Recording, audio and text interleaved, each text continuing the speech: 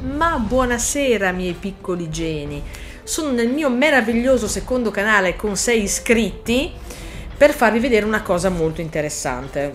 Questo canale era stato creato perché ai tempi YouTube e Google Plus erano una cosa sola e vabbè, questo, questo, è successo che mi sono ritrovata con un altro canale di cui non me ne faccio niente, ma in questo caso è molto utile per farvi vedere come funziona la modalità restrizioni su YouTube, come anche mh, tutti quelli che fanno video e guadagnano anche fior di soldi si siano un po' incavolati, eh, che tra l'altro è una, modalità che c'è sempre stata, ma sembra che sarà introdotta ancora di più secondo altri criteri, per farvi appunto vedere come funziona e che cosa succede? Allora, qui c'è la modalità con restrizioni disattivata, quindi se io digito il nome del mio canale, oltre a uscire il mio canale, uscire i miei video, esce il famoso video dell'accattonista e, ehm, e vi farò vedere la magia, la magia nel momento in cui io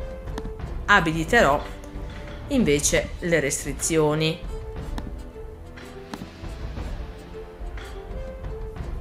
Voilà. Scomparso nel nulla, è stata una magia.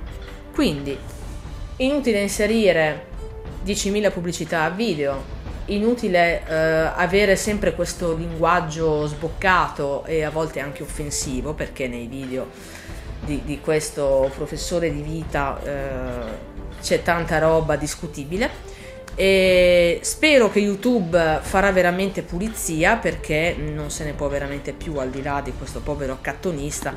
Se io vado a digitare il nome di uno famoso, di questo ragazzo molto figo ma che dice tante di quelle parolacce che... e non solo, praticamente con la modalità restrizioni, scusate, non appare neppure un video. E mi sembra anche normale. Quindi mi dispiace per tutti quelli che stavano racimolando spicci su youtube ma se andiamo avanti di questo passo veramente ci sarà una bella pulizia e io sono veramente contenta sarei ancora più contenta se ciò avvenisse senza attivare la modalità restrizioni che comunque eh, non so se l'ho già detto perché ormai l'età avanza però già esisteva, quindi già si poteva attivare. Adesso sembra che appunto ci sarà qualcosa di diverso anche senza eh, attivarla.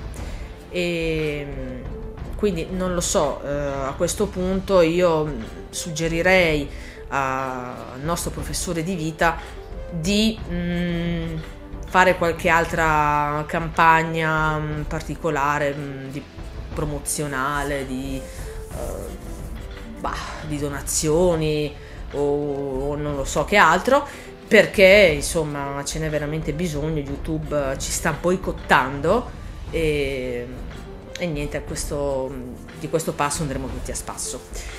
Soprattutto chi attiva AdiBlock. Detto questo vi saluto e alla prossima